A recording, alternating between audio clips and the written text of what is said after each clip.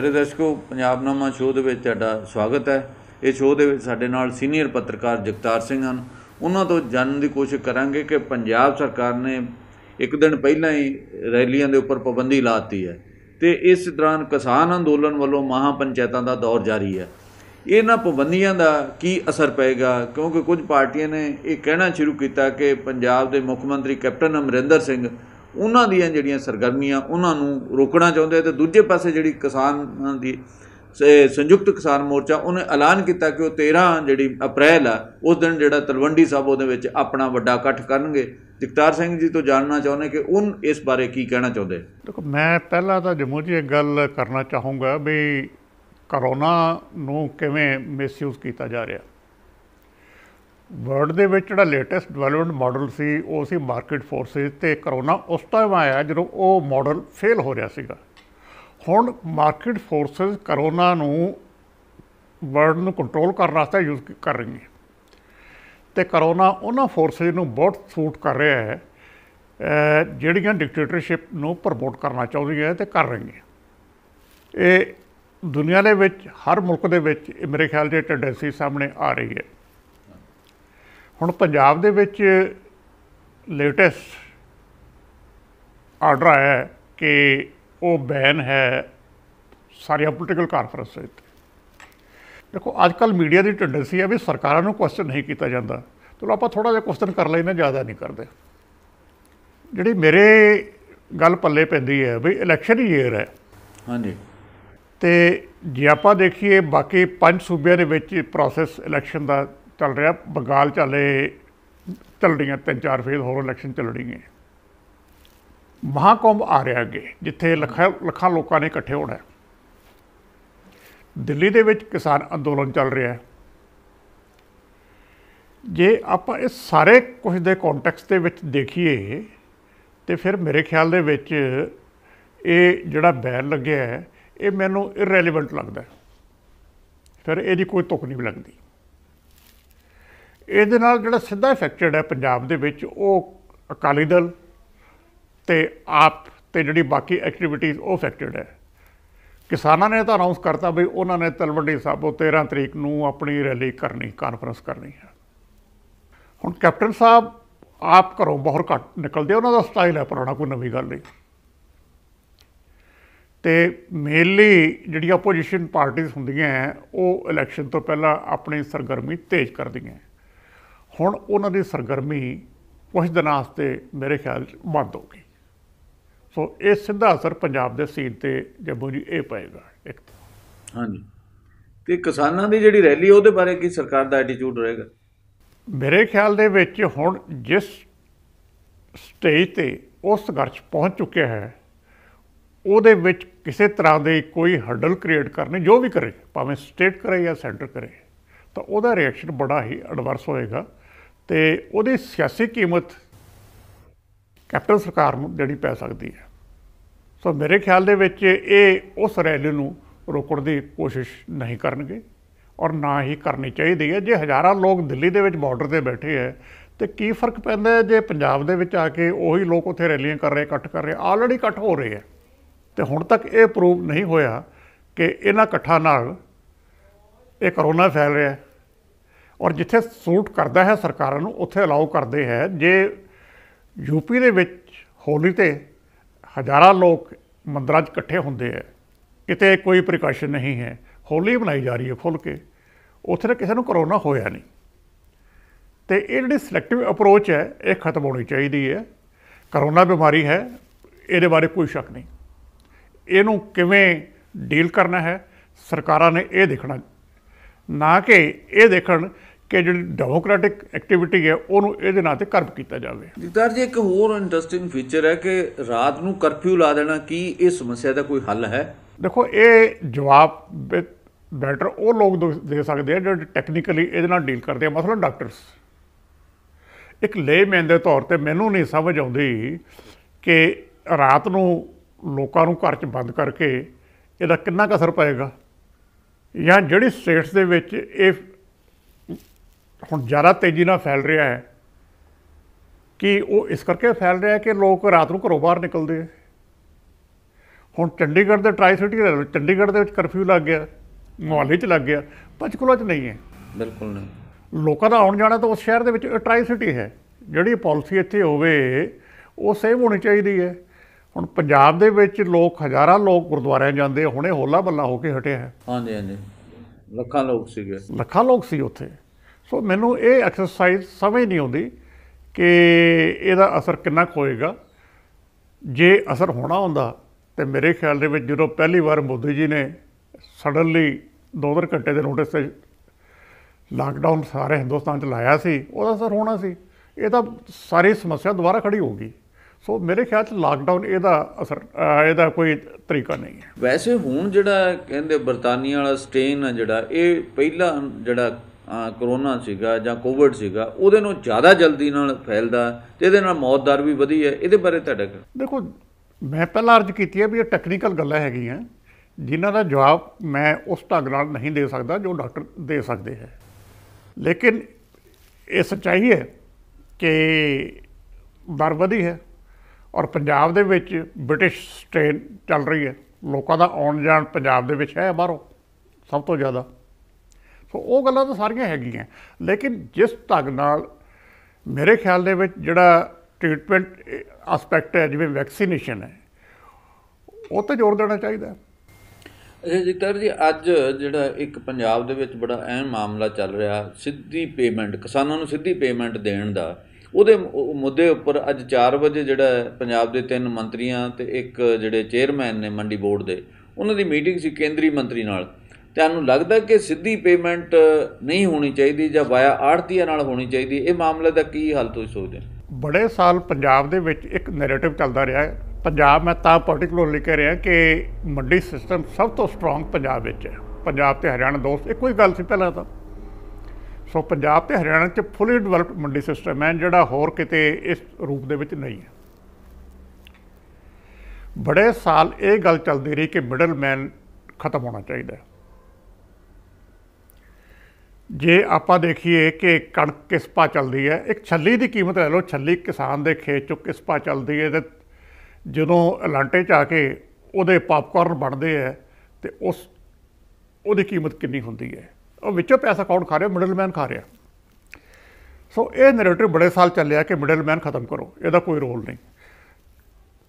ਇੱਕ ਸਟੇਜ ਤੇ ਆ ਕੇ ਮਿਡ 80s ਮੰਡੀ ਬੋਰਡ ਨੇ ਇੱਕ ਪਲਾਨ ਬਣਾਇਆ ਸੀ ਕਿ ਮੰਡੀਆਂ ਨੂੰ ਟੋਟਲੀ ਮੈਕਨਾਈਜ਼ ਕਰਨ ਦਾ। ਪਲਾਂਟ ਲੱਗੇ ਕੁਝ ਵੱਡੀਆਂ ਮੰਡੀਆਂ ਦੇ ਵਿੱਚ, ਜਿਹੜੀ ਹੈਂਡਲਿੰਗ ਸੀ ਫੂਡ ਗ੍ਰੇਨ ਦੀ ਸਾਰੀ, ਉਸ, ਉਹਦੇ ਥਰੂ ਹੁੰਦੀ ਸੀ। ਸਫ਼ਾਈ ਕਰਨੀ ਵੇਟੇਜ ਕਰਨੀ, ਬੋਰੀਆਂ ਭਰਨੀਆਂ ਐਵਰੀਥਿੰਗ ਵਾਸ ਆਟੋਮੈਟਿਕ ਉਹ ਸਿਸਟਮ ਫੇਲ ਹੋ ਗਿਆ। ਫੇਲ ਕਿਉਂ ਹੋਇਆ? ਇਹ ਅਜੇ ਤੱਕ ਕਿਸੇ ਨੇ ਸਟੱਡੀ ਨਹੀਂ ਕੀਤਾ। ਇਕਨੋਮਿਸਟ ਵਾਰ-ਵਾਰ ਕਹਿੰਦੇ ਰਹੇ ਕਿ ਮਿਡਲਮੈਨ ਨਹੀਂ ਹੋਣਾ ਚਾਹੀਦਾ। ਜੇ ਆਪਾਂ ਪਿੱਛੇ ਮਾ ਝਾਤੀ ਮਾਰੀਏ ਤੇ ਜਿਹੜੀ ਜ਼ਮੀਨਾਂ ਕੁਰਕੀ ਹੁੰਦੀਆਂ ਰਹੀਆਂ ਕਿਸਾਨਾਂ ਦੀਆਂ, ਉਹ ਇਹ ਆੜਤੀ ਹੀ ਕਰਾਉਂਦੇ ਰਹੇ ਆ। ਹੁਣ ਸਿਚੁਏਸ਼ਨ ਐਸੀ ਬਣ ਗਈ ਕਿ ਇਸ ਸਿਸਟਮ ਨੂੰ ਸਾਰੇ ਡਿਫੈਂਡ ਕਰ ਰਹੇ ਆ, ਮਜਬੂਰ ਹੈ ਡਿਫੈਂਡ ਕਰਨ ਵਾਸਤੇ। ਕਿਉਂਕਿ ਇਸ ਮੌਕੇ ਤੇ ਇਹ ਗੱਲ ਸਾਹਮਣੇ ਆਈ ਹੈ, ਜਦੋਂ ਕਿਸਾਨ ਦਿੱਲੀ ਦੇ ਦਰਵਾਜ਼ਿਆਂ ਤੇ ਆਪਦੀ ਲੜਾਈ ਲੜ ਰਹੇ ਹੈ ਇਹ ਲੜਾਈ ਇਕੱਠੇ ਲੜੀ ਜਾ ਰਹੀ ਹੈ ਹੁਣ। ਇਸ ਕਰਕੇ ਸ- ਅਲੱਗ ਨਹੀਂ ਕੀਤਾ ਜਾ ਸਕਦਾ, ਲੇਕਿਨ as a matter of principle ਮੇਰੇ ਖਿਆਲ ਦੇ ਵਿੱਚ ਜਿਹੜਾ ਇਹ ਮਿਡਲਮੈਨ ਹੈ, ਇਹਦੇ ਵਿੱਚ ਨਹੀਂ ਹੋਣਾ ਚਾਹੀਦਾ। ਲੇਕਿਨ ਸਮੱਸਿਆ ਇਹ ਹੈ ਕਿ ਜਿਹੜੇ ਇਹ ਨਵੇਂ ਕਾਨੂੰਨ ਹੈਗੇ ਹੈ, ਇਹ ਇੱਕ ਨਵਾਂ ਸਿਸਟਮ ਮਿਡਲਮੈਨ ਦਾ ਕ੍ਰੀਏਟ ਕਰ ਰਿਹਾ, ਜਿਹਦੇ ਵਿੱਚ ਕਾਰਪੋਰੇਟ ਮਿਡਲਮੈਨ ਹੈ, ਜਿਹੜਾ ਬਹੁਤ ਵੱਡਾ ਹੈ, ਜਿਹਨੇ ਕੰਜ਼ਿਊਮਰ ਵੀ ਇਫੈਕਟ ਕਰਨਾ ਸੋ ਇੱਕ ਸਿਸਟਮ ਮਿਡਲਮੈਨ ਦਾ ਹਟਾ ਕੇ ਦੂਸਰਾ ਮਿਡਲਮੈਨ ਲੈ ਕੇ ਆਉਣਾ, ਉਹ ਗਲਤ ਹੈ। ਇਸ ਕਰਕੇ ਮੇਰੇ ਖਿਆਲ ਦੇ ਵਿੱਚ ਜੇ ਪ੍ਰੈਜ਼ੈਂਟ ਸਿਸਟਮ ਲੋਕ ਚਾਹੁੰਦੇ ਕੰਟੀਨਿਊ ਕਰਨਾ ਆਪਸ਼ਨ ਦੇ ਦਿਓ। ਜਿਹੜੇ ਸਿੱਧੀ ਪੇਮੈਂਟ ਲੈਣੀ ਚਾਹੁੰਦੇ ਉਹਨਾਂ ਨੂੰ ਸਿੱਧੀ ਦੇ ਦਿਓ। ਤੇ ਜਿਨ੍ਹਾਂ ਦਾ ਰਿਕਾਰਡ ਨਹੀਂ ਹੈ ਉਹ ਥਰੂ ਆੜਤੀ ਸਿਸਟਮ ਜਿਹੜਾ ਪ੍ਰੈਜ਼ੈਂਟ ਚੱਲੀ ਜਾਵੇ ਕੀ ਫ਼ਰਕ ਪੈਂਦਾ ਉਹਦੇ 'ਚ? ਸਰਕਾਰ ਨੂੰ ਇਨਸਿਸਟ ਨਹੀਂ ਕਰਨਾ ਚਾਹੀਦਾ। ਕਰ ਜੀ ਇਹਦੇ ਨਾਲ ਜੁੜਿਆ ਕਿਸਾਨ ਅੰਦੋਲਨ। ਤੁਸੀਂ ਕਿਸਾਨ ਅੰਦੋਲਨ ਦਾ ਫਿਊਚਰ ਕੀ ਦੇਖ ਰਹੇ ਹੋ? ਮਤਲਬ ਕਿ ਕੋਈ ਇਹਨਾਂ ਦਾ ਸਮਝੌਤਾ ਹੋਏਗਾ ਨਹੀਂ ਹੋਏਗਾ ਇਹਦੇ ਬਾਰੇ ਕੀ ਦੇਖੋ ਮੋਦੀ ਜੀ ਨੇ ਕੱਲ ਪਰਸੋਂ ਫਿਰ ਕਿਹਾ ਕਿ ਜਿਹੜਾ ਕਿਸਾਨ ਆਪਣੇ ਇਹ ਲਾਜ਼ ਹੈਗੇ ਹੈ ਇਹ ਕਿਸਾਨੀ ਦੇ ਹੱਕ ਦੇ ਵਿੱਚ ਹੈ ਤੇ ਕਿਸਾਨਾਂ ਨੂੰ ਗੁੰਮਰਾਹ ਕੀਤਾ ਜਾ ਰਿਹਾ ਹੈ। ਵਾਰ-ਵਾਰ ਲਾਈਨ ਮੋਦੀ ਜੀ ਲੈ ਰਹੇ ਆ। ਜੇ ਕੋਈ ਹੋਰ ਮਿਨਿਸਟਰ ਇਹ ਗੱਲ ਕਰਦਾ ਹੋਵੇ ਤੇ ਆਪਾਂ ਕਹਿ ਸਕਦੇ ਹਾਂ ਵੀ ਚਲੋ ਇਹ ਗੱਲ ਸਮਝੌਤੇ ਵੱਲ ਜਾ ਸਕਦੀ ਹੈ, ਇਹ ਵੈਸੀ ਲਾਈਨ ਲਈ ਜਾ ਰਹੀ ਹੈ। ਜਦੋਂ ਪੀਐਮ ਵਾਰ-ਵਾਰ ਇੱਕ ਸਟੈਂਡ ਨੂੰ ਦੁਹਰਾਉਂਦਾ ਹੈ, ਤਾਂ ਇਹਦਾ ਮਤਲਬ ਇਹ ਹੈ ਕਿ ਸਮਝੌਤੇ ਦੀ ਗੁੰਜਾਇਸ਼ ਹਾਲੇ ਨਹੀਂ ਹੈ ਤੇ ਸੰਘਰਸ਼ ਲੰਬਾ ਚੱਲੇਗਾ। ਤੇ ਉਹਨਾਂ ਨੂੰ ਇਹ ਲੱਗਦਾ ਵੀ ਇਹ ਲੋਕਲਾਈਜ਼ਡ ਹੈ। ਲੰਬਾ ਮੇਰੇ ਖਿਆਲ ਯੂਪੀ ਦੀ ਇਲੈਕਸ਼ਨ ਤੋਂ ਪਹਿਲਾਂ ਤੱਕ ਚੱਲੇਗਾ। ਯੂਪੀ ਪੰਜਾਬ ਦੀਆਂ ਇਲੈਕਸ਼ਨ ਦੋਵੇਂ ਇਕੱਠੀਆਂ ਹਾਂਜੀ ਲੇਕਿਨ ਪੰਜਾਬ ਮੈਟਰ ਨਹੀਂ ਕਰਦਾ ਮੋਦੀ ਸਰਕਾਰ ਨੂੰ। ਯੂਪੀ ਮੈਟਰ ਕਰਦੀ ਹੈ। ਜਦੋਂ ਉਹਨਾਂ ਨੂੰ ਲੱਗਿਆ ਕਿ ਯੂਪੀ ਦੇ ਵਿੱਚੋਂ ਉਹਨਾਂ ਨੂੰ ਥ੍ਰੈਟ ਸਿੱਧੀ ਬਣ ਰਹੀ ਹੈ ਉਸ ਦਿਨ ਇਹਨਾਂ ਦਾ ਸਮਝੌਤਾ ਹੋ ਜਾਏਗਾ। ਇਹਦਾ ਮਤਲਬ ਹੈ ਜੇ ਲੰਮਾ ਚੱਲੇਗਾ ਤੇ ਕੋਈ ਸਮਝੌਤੇ ਦੇ ਛੇਤੀ ਅਸਾਰ ਨਹੀਂ। ਇਹ ਵੀ ਕਿਹਾ ਜਾ ਰਿਹਾ ਵੀ ਪੰਜ ਸੂਬਿਆਂ ਦੀਆਂ ਚੋਣਾਂ ਜਦੋਂ ਖਤਮ ਹੋਣਗੀਆਂ ਉਹਨਾਂ ਦੇ ਨਤੀਜੇ ਆਉਣਗੇ ਉਸ ਤੋਂ ਬਾਅਦ ਕੋਈ ਗੱਲਬਾਤ ਹੋ ਕੇ ਨਿਬੇੜਿਆ ਜਾ ਸਕਦਾ। ਉਸ ਤੋਂ ਬਾਅਦ ਯੂਪੀ ਦੇ ਨੇੜੇ ਆ ਰਹੀ ਹੈ ਫਰਵਰੀ ਅਗਲੇ ਸਾਲ। ਉਹ ਤਾਂ ਪੰਜਾਬ ਤੇ ਯੂਪੀ ਦੀਆਂ ਇਕੱਠੀ ਚੋਣ ਇਕੱਠੀ ਇਲੈਕਸ਼ਨ ਹੋਣੀ ਹੈ। ਸੋ ਕੁਝ ਮਹੀਨਿਆਂ ਦੀ ਗੱਲ ਹੁਣ ਤਾਂ ਸਾਲ ਵੀ ਨਹੀਂ ਰਹਿ ਗਿਆ। ਸੋ ਇਸ ਕਰਕੇ ਇਹ ਰਿਜ਼ਲਟ ਆ ਕੇ ਜੇ ਉਸ ਤੋਂ ਬਾਅਦ ਨੈਕਸਟ ਸਟੈਪ ਮੇਰਾ ਖਿਆਲ ਦੇ ਵਿੱਚ ਇਹ ਹੋਏਗਾ ਕਿ ਇਹਨੂੰ ਕਿਸੇ ਸਿਰੇ ਲਾਇਆ ਜਾਵੇ ਡਿਪੈਂਡ ਇਹ ਕਰੇਗਾ ਕਿ ਯੂਪੀ ਤੇ ਇੰਪੈਕਟ ਦਾ ਕੀ ਹੈ।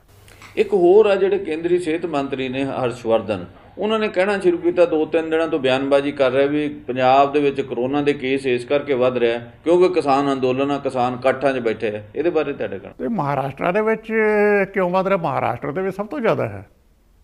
ਸੋ ਜੇ ਪੰਜਾਬ ਦਾ ਕਿਸਾਨੀ ਕਰਕੇ ਹੈ ਇੱਥੇ ਤਾਂ ਬ੍ਰਿਟਿਸ਼ ਸਟੇਨ ਹੈ ਜਿਹੜਾ ਸਭ ਤੋਂ ਜ਼ਿਆਦਾ ਹੁਣ ਇੱਥੇ ਆਇਆ ਹੈ।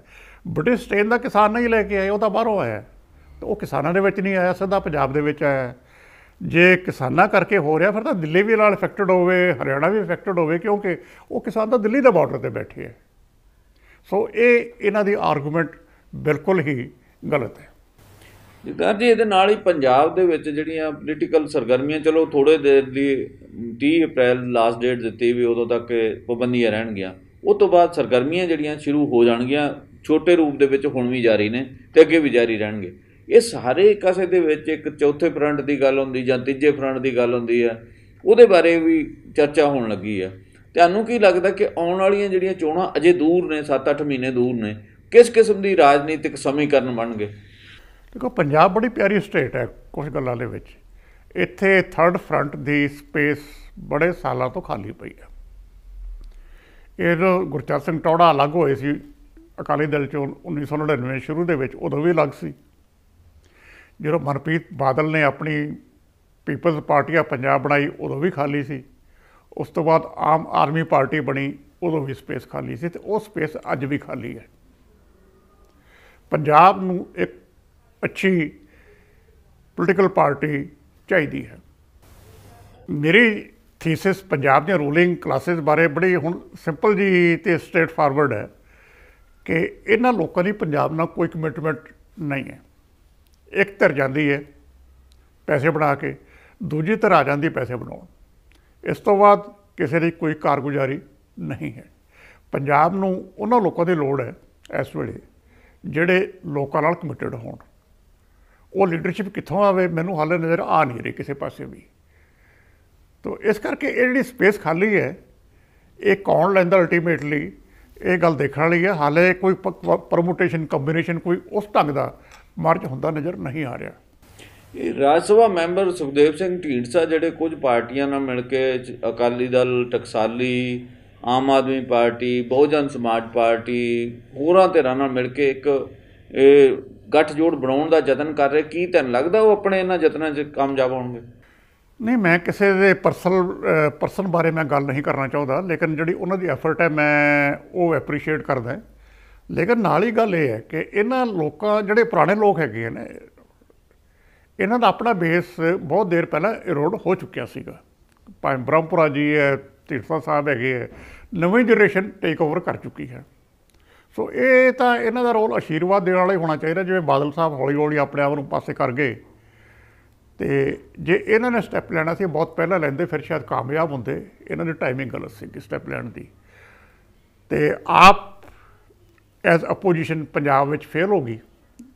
ਮਤਲਬ ਪਹਿਲੀ ਵਾਰੀ ਹੈ ਕਿ ਇੱਕ ਅਪੋਜੀਸ਼ਨ ਪਾਰਟੀ ਕੋਲੈਪਸ ਕਰ ਜਾਏ। ਰੂਲਿੰਗ ਪਾਰਟੀ ਕੋਲੈਪਸ ਕਰਿਆ ਕਰਦੀ ਹੈ। ਔਰ ਆਪ ਨੂੰ ਕਿਸੇ ਨੇ ਨਹੀਂ ਤੋੜਿਆ, ਇਹ ਵਿੱਚੋਂ ਹੀ ਟੁੱਟੀ। ਸੋ ਇਹ ਹੁਣ ਰਿਵਾਈਵ ਕਰਨ ਦੀ ਕੋਸ਼ਿਸ਼ ਕੀਤੀ ਜਾ ਰਹੀ ਹੈ। ਲੀਡਰਸ਼ਿਪ ਇਹਨਾਂ ਕੋਲ ਵੀ ਨਹੀਂ ਹੈ। ਕੀ ਆਪ ਦੇ ਰਿਵਾਈਵ ਹੋਣ ਦੇ ਕੋਈ ਚਾਂਸ ਲੱਗਦਾ ਹੈ? ਤੁਹਾਨੂੰ ਲੱਗਦੀ ਵੀ ਕੋਈ ਇਹੋ ਜੀ ਗੱਲ ਹੋਏਗੀ ਵੀ ਜਿਹਦੇ ਨਾਲ ਆਪ ਰਿਵਾਈਵ ਹੋ ਜਾਏਗੀ? ਨਹੀਂ ਇਹਨਾਂ ਦਾ ਏਜੰਡਾ ਹੋਵੇ ਤੇ ਲੀਡਰਸ਼ਿਪ ਹੋਵੇ। ਸਪੇਸ ਖਾਲੀ ਹੈ ਮੈਂ ਸ਼ੁਰੂ ਲਗਾਤਾਰ ਕਹਿ ਰਿਹਾ। ਪੰਜਾਬ ਦੇ ਸਪੇਸ ਖਾਲੀ ਹੈ। ਲੋੜ ਹੈ ਕਮਿਟਡ ਲੀਡਰਸ਼ਿਪ ਦੀ ਤੇ ਪ੍ਰੋ ਪੀਪਲ ਏਜੰਡਾ ਦੀ। ਉਹ ਜਿਹੜਾ ਹੁਣ ਤੱਕ ਮਿਸਿੰਗ ਹੈ ਸਾਰੀ ਗੱਲ। ਤਾਂ ਜੀ ਇੱਕ ਹੋਰ ਗੱਲ ਹੈ। ਨਵਜੋਤ ਸਿੰਘ ਸਿੱਧੂ ਜਿਹੜੇ ਪਹਿਲਾਂ ਕੈਬਨਿਟ ਮੰਤਰੀ ਸੀ ਉਹ ਦੁਬਾਰਾ ਐਡਜਸਟਮੈਂਟ ਦੀਆਂ ਕੋਸ਼ਿਸ਼ਾਂ ਹੋਈਆਂ ਉਹ ਸਿਰੇ ਨਹੀਂ ਚੜ ਰਹੀਆਂ। ਹੁਣ ਉਹਨਾਂ ਨੂੰ ਪ੍ਰਧਾਨ ਬਣਾਉਣ ਦੀ ਗੱਲ ਚੱਲ ਰਹੀ ਹੈ। ਤੁਹਾਨੂੰ ਲੱਗਦਾ ਕੀ ਫਿਊਚਰ ਹੋਏਗਾ ਨਵਜੋਤ ਸਿੰਘ? ਨਹੀਂ, ਮੈਂ ਜੀ ਉਹਨਾਂ ਦੇ ਬਾਰੇ ਬਿਲਕੁਲ ਪਰਸਨਲ ਕੋਈ ਗੱਲ ਨਹੀਂ ਕਰਨਾ ਚਾਹੁੰਦਾ। ਹਾਂਜੀ। ਮੈਂ ਕਿਸੇ ਲੀਡਰ ਦੀ ਸਪੈਸਿਫਿਕ ਤੌਰ ਤੇ ਕਦੇ ਇਸ ਤਰ੍ਹਾਂ ਇਵੈਲੂਏਸ਼ਨ ਕਦੇ ਵੀ ਨਹੀਂ ਕੀਤੀ ਲਾਈਫ ਦੇ ਵਿੱਚ। ਉਹਨਾਂ ਦੀ ਆਪਣੀ ਸਿਆਸਤ ਹੈ। ਉਹ ਕੀ ਕਰਨਾ ਚਾਹੁੰਦੇ ਉਹਨਾਂ ਦੀ ਮਰਜ਼ੀ ਹੈ।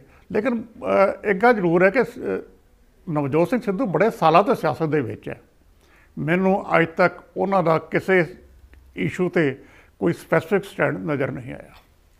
ਆਉਣ ਵਾਲੀਆਂ ਚੋਣਾਂ ਦੇ ਵਿੱਚ ਤੁਹਾਨੂੰ ਕੀ ਲੱਗਦਾ ਵੀ ਕਾਂਗਰਸ ਕਿਵੇਂ ਚੋਣਾਂ 'ਚ ਜਾਏਗੀ ਕਿਸ ਏਜੰਡੇ ਤੇ ਜਾਏਗੀ ਜਿਹੜੇ ਕੈਪਟਨ ਸਾਹਿਬ ਕਹਿੰਦੇ ਵੀ ਅਸੀਂ 85% ਵਾਅਦੇ ਪੂਰੇ ਕਰਤੇ ਆ। ਤੁਹਾਨੂੰ ਕੀ ਲੱਗਦਾ ਕਿਵੇਂ ਚੱਲੇ ਜਾਏਗਾ? ਨਹੀਂ ਵਾਅਦੇ ਪੂਰੇ ਨਹੀਂ ਹੋਏ ਹੋਏ ਇਹ ਤਾਂ ਲੋਕ ਦੱਸਦੇ ਹੁੰਦੇ ਆ। ਸਰਕਾਰਾਂ ਹਮੇ- ਹਮੇਸ਼ਾ ਕਲੇਮ ਕਰਦੀਆਂ ਹੁੰਦੀਆਂ ਕਿ ਅਸੀਂ ਵਾਅਦੇ ਪੂਰੇ ਕੀਤੇ ਹੈ। ਲੇਕਿਨ ਉਹ ਵਾਅਦੇ ਲੋਕਾਂ ਦੇ ਨਜ਼ਰਾਂ ਵਿੱਚ ਪੂਰੇ ਹੁੰਦੇ ਆ ਕਿ ਨਹੀਂ ਹੁੰਦੇ ਗੱਲ ਇਹ ਦੇਖਣ ਵਾਲੀ ਹੁੰਦੀ ਹੈ। ਉਹ ਜਿੰਨਾ ਮਰਜ਼ੀ ਕਲੇਮ ਕਰੀ ਜਾਣ ਉਹਨਾਂ ਤੇ ਇਹ ਕਹਿੰਦੇ ਅਸੀਂ ਪੂਰਾ ਤੁਹਾਡਾ ਕਿਸਾਨਾਂ ਦਾ ਜਿਹੜਾ ਕਰਜ਼ਾ ਹੈ ਉਹ ਮਾਫ ਕਰਾਂਗੇ। ਘਰ ਘਰ ਨੌਕਰੀ ਵਾਅਦੇ ਬੜੇ ਵੱਡੇ ਵੱਡੇ ਵੱਡੇ ਕੀਤੇ ਸੀਗੇ ਹਾਂਜੀ। ਤੇ ਉਹ ਤਾਂ ਹੁਣ ਲੋਕ ਜਵਾਬ ਦੇਣਗੇ ਪੂਰੇ ਕੀਤੇ ਕਿ ਨਹੀਂ ਕੀਤੇ। ਐਪਰੈਂਟਲੀ ਜੋ ਕਲੇਮ ਕਰਦੇ ਆ ਤੇ ਉਹਨਾਂ ਨੇ ਕੰਮ ਕੀਤਾ ਹੋਏਗਾ ਭਾਵੇਂ ਅਖੀਰਲੇ ਸਾਲ ਕਰਨ। ਸੋ ਪਾਰਟੀਆਂ ਵਾਅਦੇ ਕਰਦੀਆਂ ਹੁੰਦੀਆਂ। ਤੇ ਜੇ ਆਪਾਂ ਮੈਨੀਫੈਸਟੋ ਦੇਖੀਏ ਕਿਸੇ ਵੀ ਪਾਰਟੀ ਦਾ ਵੀ ਤੇ ਜਦੋਂ ਪਾਵਰ ਚ ਆਉਂਦੀ ਹੈ ਉਹ ਬਹੁਤ ਕੁਝ ਹੁੰਦਾ ਜਿਹੜਾ ਪੂਰਾ ਨਹੀਂ ਕੀਤਾ ਹੁੰਦਾ। ਸੋ ਕਾਂਗਰਸ ਕੋਈ ਐਕਸੈਪਸ਼ਨ ਨਹੀਂ ਹੈ ਰੂਲ ਵਿਕਾਰ ਜੀ ਇਹ ਸੋਚ ਸਾਡੇ ਨਾਲ ਜੋੜਨ ਲਈ ਤੁਹਾਡਾ ਬਹੁਤ-ਬਹੁਤ ਸ਼ੁਕਰੀਆ। ਅੱਗੇ ਫੇਰ ਕਿਸੇ ਦਿਨ ਹੋਰ ਕਿਸੇ ਵਿਸ਼ੇ ਦੇ ਉੱਪਰ ਗੱਲਬਾਤ ਕਰਾਂਗੇ। ਧੰਨਵਾਦ। Thank you